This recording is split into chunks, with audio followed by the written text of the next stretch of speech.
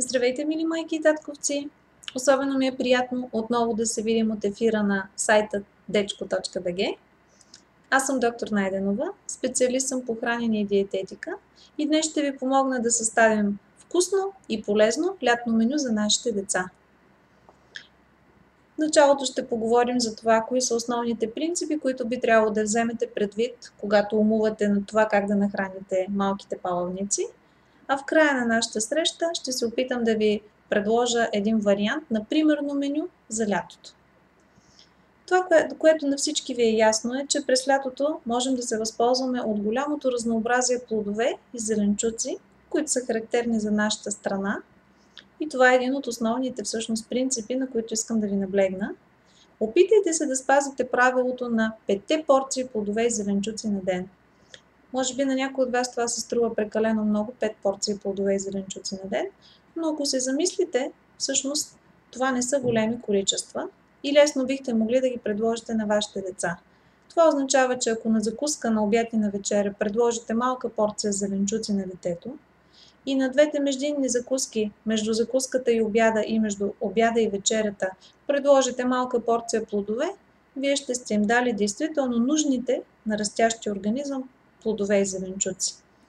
Искам да ви обърна внимание, че далеч не е необходимо това да бъдат някакви огромни количества. Минималното количество плод или зеленчук, което би трябвало да предлагате на порция, т.е. на едно хранене на вашето детенце, е горе-долу колкото обема на неговата шепичка. Разбира се, тези от вас, които имат деца, които обожават тази храна, биха могли да предлагат и много по-големи количества – Искам да ви напомня, че плодовите сокове не са еквивалент на пресните плодове, особено соковете от бутилка или от котия, т.е. различни от прясно изцедения фреш. И това, че едно дете а, пие големи количества плодове, плодове сокове през лятото, не означава, че то набавя толкова важните и намиращи се в пресните плодове витамини.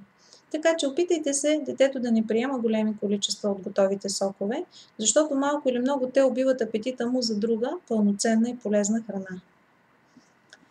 Това, което бих искала да подчертая, е, когато говорим за пълноценно меню през лятото е да наблегнете на разнообразието. Действително сега е момента да се опитате да включите и нови храни, които детето може би до този момент не е опитвало, в зависимост от възрастта на детето, то може да е опитвало един определен асортимент от храни. Сега е момента да се опитате да включите още нещо ново. Изключително важно е да не се влияете само от желанието на детето през лятото да приема предимно сладкарски или пък тестени изделия. Много често децата имат точно такива желания, както и да се съобразите с един малко по, а, може би по-лош апетит през летните горещини, той действително може да бъде обяснен с жегата и с желанието на децата повече течности да приемат отколкото храна. Вземете и това в предвид, но все пак стремете се детето да се храни разнообразно. Това означава ежедневно вие да му предлагате храни от различните групи. Това означава всеки ден то да хапва действително плодове и зеленчуци, всеки ден то да приема някаква зърнена култура, някаква зърнена храна. Това може да бъде хляб, може да бъде ориз, може да бъде царевицата, която става особено актуална сега през летния сезон. Разбира се, зърнените закуски от групата на корнфлейксите също са една добра альтернатива за децата, които ги обичат. Ежедневно се опитвайте детето да приема задължително някакъв млечен продукт. Особено важно е през лятото, когато децата толкова бързо израстват, те действително да хапват редовно поне две порции млечни храни на ден. Това може да бъде кисело мляко, Съветвам ви да бъде кисело мляко, тъй като то е един много безопасен и много полезен продукт за децата, които нямат алергия към белтъка на киселото мляко, на кравето мляко. Може да бъде, разбира се, и прясно мляко за тези, които много го обичат. А защо не и сирене и кашкавал? Има толкова много вкусни салати летни, като шопската салата, които децата приемат с удоволствие. Стремете се поне на две от храненията детето да приеме млечен продукт. За дечицата, които са така с една добра физическа активност и които са с едно нормално тегло, не са с затластяване, бих казала, че пълномаслените млечни продукти са най-добрия вариант. Тези от, от вас, които имат деца, които не харесват особено кисело мляко, биха могли да пробват да го предложат под различни други варианти, не натурално. А примерно под формата на един таратор. Повечето деца не отказват таратора. Ако искате действително детето да го изяде с апетит и възрастта му позволява, включете го в приготвянето на таратора. Би могло примерно да помогне при настъргването на краставицата. Или пък да му дадете една детска ножица и то да накълца копара. Обикновено, когато детето се включи в приготвянето на някакво ястие, то го яде с действително по-голямо желание и много гордо от добре свършената работа. За тези от вас, които имат деца, които действително трудно приемат кисело мляко, бихте могли да опитате айрян, а разбира се, бихте могли да предложите и домашна альтернатива на така наречените плодови млека. Да приготвите смути, т.е. кисело мляко, което е разбито с плод, който детето харесва. И по желание към тази смес може да се добави мед, захар, може да се добави ванилия, може да се добави мента, натрушен лед и така нататък. Отново ви съветвам, когато приготвяте тази закуска за детето с кисело мляко и плодове, да включите малкия човек като помощник. Това го учи на самостоятелност и му създава възможност да придобие някои елементарни умения в кухнята, които по-нататък, повярвайте, ще са му много нужни. Освен плодове, зеленчуци, млечни храни и зърнени храни. Стремете се детето да включва ежедневно в менюто си и храни, които са добър източник на лесно освоими белтъци. Това може да бъде рибата, това може да бъде месото. Разбира се, нямам предвид колбаси, а по-скоро чисто месо. Това могат да бъдат бобовите храни. Сега е сезона на зеления боб, сега е сезонът на грахът, сега е сезона на Лещата също за тези деца, които я обичат.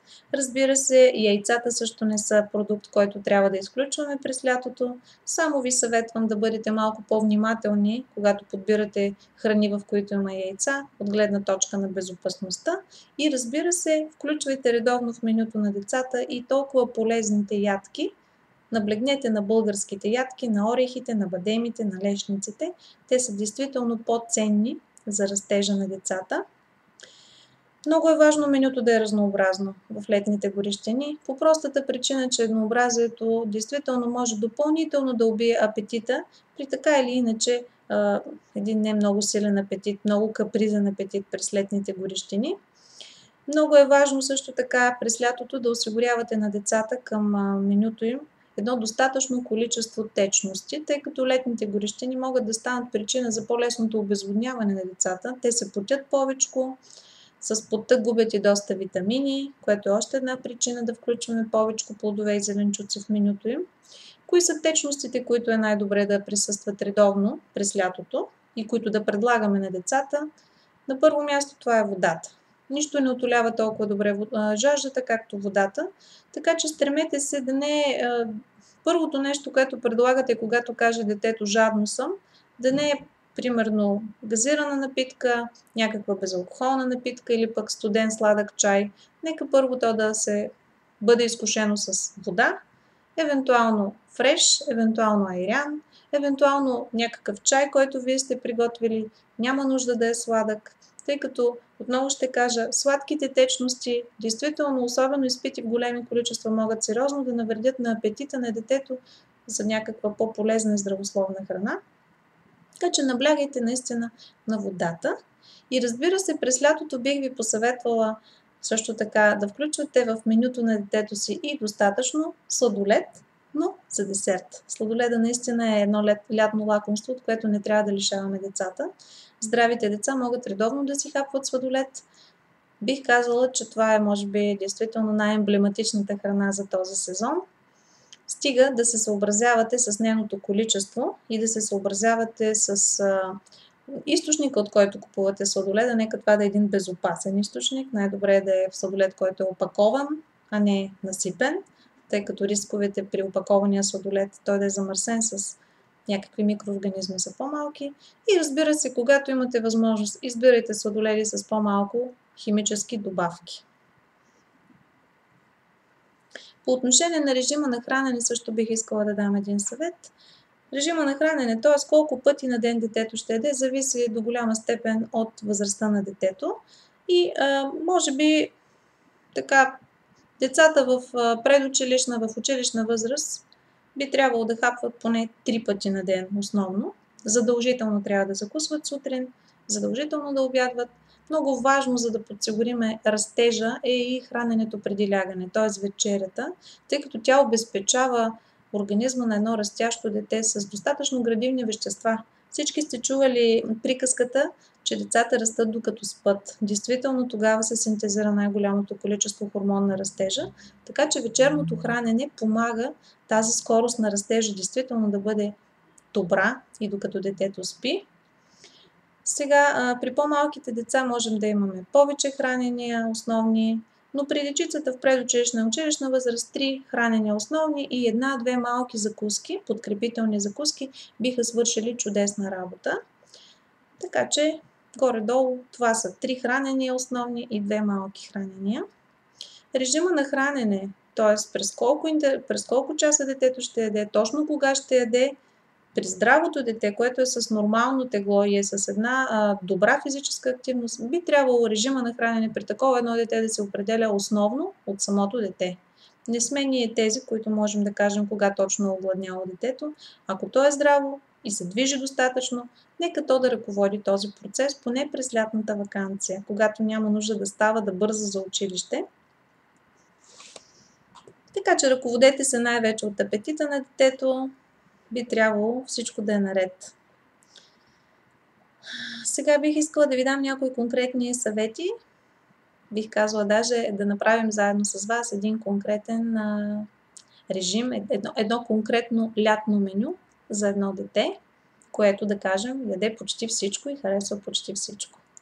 Такова дете разбира се няма и най-вероятно и вие нямате такова дете, но все пак това ще е едно универсално меню за децата – през лятото, би било добре сутринта детето да започне с една закуска, която да му е по вкуса. Бих казала, че голяма част от децата обичат да закусват с някакъв сандвич. Ако вашето дете е от тези деца, няма нищо лошо действително закуската му да е сандвич. Бихте могли да приготвите топъл сандвич, примерно с шунка и кашкавал, бихте могли да направите топъл сандвич с яйце и сирене или просто да намажете филия с масло и да, да сложите отгоре една плочка сирене. Децата и това обичат. Това, което бих посъветвала към този сандвич през лятото, задължително да добавите някакъв пресен зеленчук. Сега има изобилие, има разнообразие. Половин домат, парче краставичка, един морков или една чушка – идеално биха допълнили сандвича на вашето дете и биха помогнали наистина за едно по-добро здраве и един по-добър растеж, тъй като плодовете и зеленчуците съдържат едно вещество наречено провитамин А. Когато го консумираме зеленчука заедно с храна, в която има някаква мазнина, какъвто е примерно сандвича с масло, този провитамин А организма го използва за синтез на хормони на растежа, на витамина на растежа. Така че Една такава закуска би била наистина и вкусна, и полезна. Децата, които обичат зърнена закуска, биха могли да закусят, разбира се, и с зърнена закуска с мляко. Пробвайте и варианта с кисело мляко. Ако не му хареса на детето, може да се остане с прясно мляко. Но към тази закуска бих предложила за едно допълнително подпомагане на здравето, да се включи и някакъв пресен плод. Примерно една праскова или две-три кайси, ако детето обича, или шепа малини и така нататък. Тоест добавете порцията здраве към тази закуска. Бихте могли, разбира се, на сутрешна закуска да, да предложите на детето е парче млечна баница с чаша айрян и примерно парче краставица. Това също е една добра альтернатива. На практика важно е да има разнообразие на сутрешната закуска. Като междинно хранене към 10-11 часа, може да бъде и по-късно, ако детенцето ви става по-късно, Можете, отново казвам, да предложите порция плодове. Можете, разбира се, да предложите и чаша кисело мляко или айран. Особено подходящо е тази междинна закуска да се вземе примерно за плажа. Една праскова, един банан, каквото детето обича и примерно един айрян. Това е също много добра закуска, която хем ще отоли жаждата, хем няма да го засите твърде много, така че да не може после да обядва пълноценно. Стигаме до обяда. Обяда пред, предлага страшно много а, възможности и би могъл да бъде наистина много разнообразен през лятото. Това, на което аз искам да ви наблегна, е задължително да включите една порция зеленчуци под формата на салата. В зависимост от това какво, с какви зеленчуци разполагате и в зависимост от това какво обича вашето маниче, салатите могат да бъдат наистина много разнообразни. Не пропускайте шопската салата, която е толкова вкусна и традиционна за нас, българите. В нея има и, мля... и млечен продукт, има сирене, което отговаря на условията да имаме млечен продукт за детето поне два пъти на ден.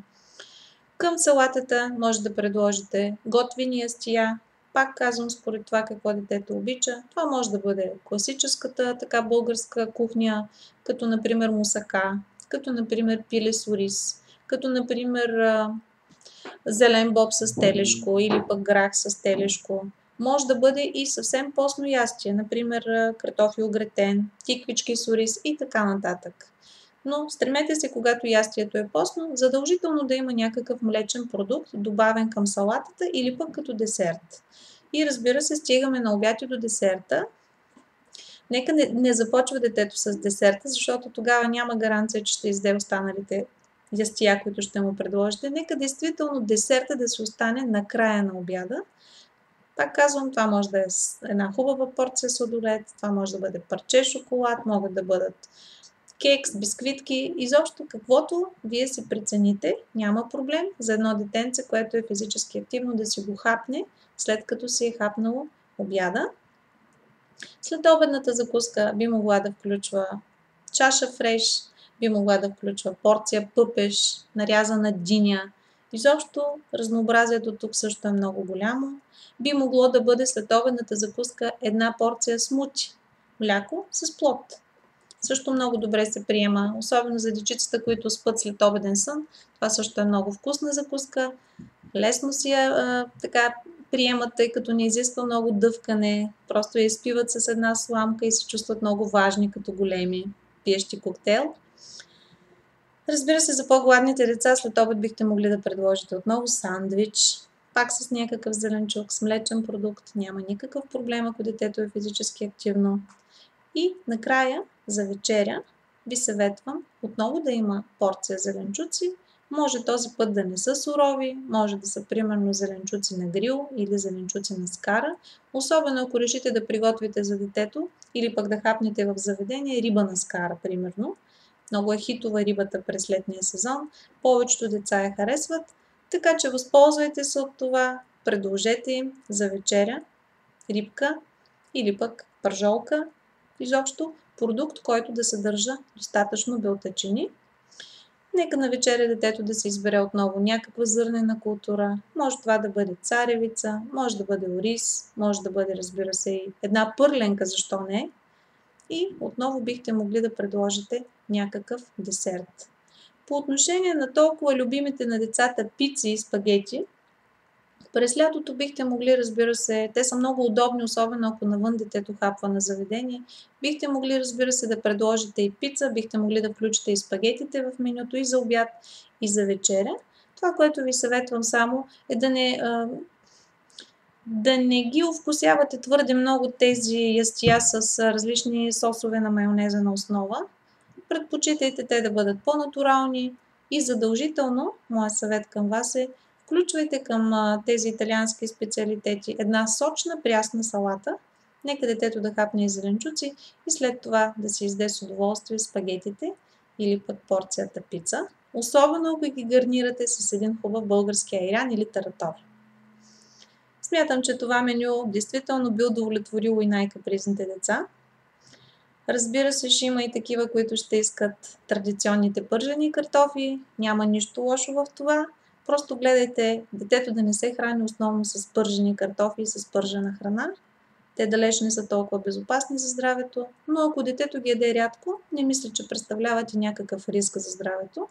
Опитвайте се максимално да разнообразявате лятното меню.